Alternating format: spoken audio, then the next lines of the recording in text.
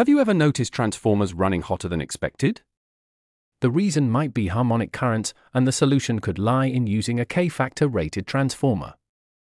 In this video, we are going to break down what a K-factor rated transformer is, why it matters, and how it addresses the challenges posed by harmonics.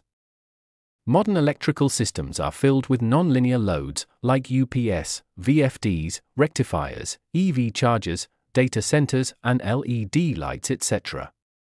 Unlike linear loads, these devices don't draw current in smooth, sinusoidal waveforms.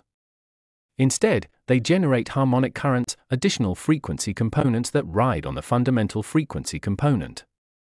These harmonic currents introduce two serious issues inside transformers increased heating due to higher losses, and the risk of overloading the neutral busbar.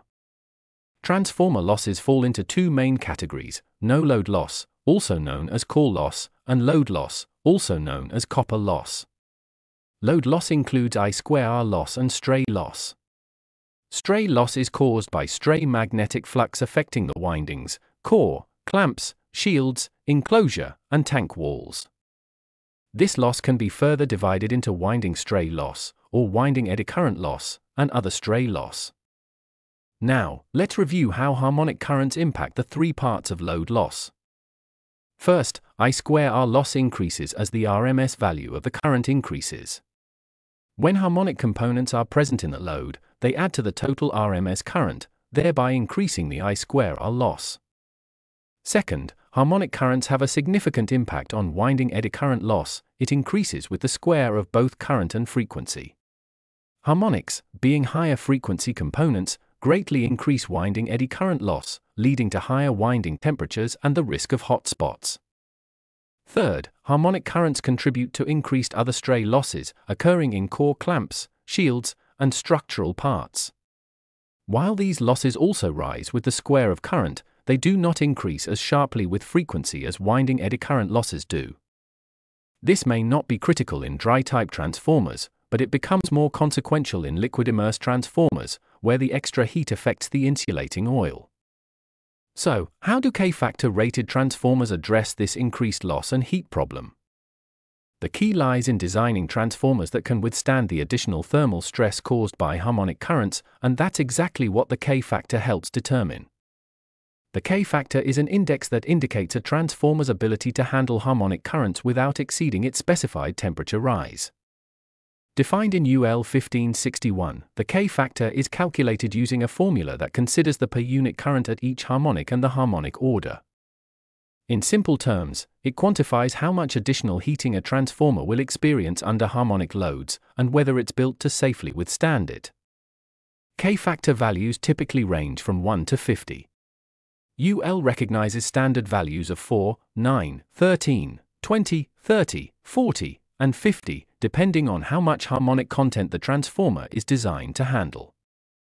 Now let's look at the second critical issue neutral busbar overload. In a typical three phase, four wire system with balanced linear loads, the currents on each phase mostly cancel out in the neutral wire. This means minimal neutral current and very little heating. But with nonlinear loads, we run into problems, especially with third order harmonics such as the third, ninth, and fifteenth harmonics. Unlike fundamental currents, which are 120 degrees apart on each phase, these third order harmonic currents are in phase on all three phases. So instead of cancelling out in the neutral wire, these harmonic currents add up. For example, if each phase has a third harmonic of 10 amps, these combine in the neutral, resulting in 30 amps of third harmonic current. This additive behavior causes significant heating of the neutral bus bars that can exceed the thermal rating of the transformer neutral bus.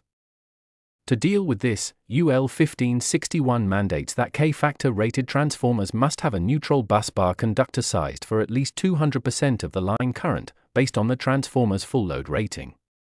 For instance, a 1000 kVA transformer with a 415 volt secondary has a full load line current of approximately 1391 amps. So, its neutral busbar must be sized to handle at least 2782 amps, ensuring safe operation even under heavy third order harmonic loading. To summarize, the key design features of a K factor rated transformer are a K factor rating, calculated based on the harmonic content the transformer is expected to handle, and a neutral busbar sized for at least 200% of the transformer's rated current to safely handle additive third order harmonics. These enhancements ensure that K factor rated transformers can operate safely and reliably in environments where harmonic rich loads are present. Got a question or a topic you would like us to break down? Drop it in the comments, we would love to hear from you.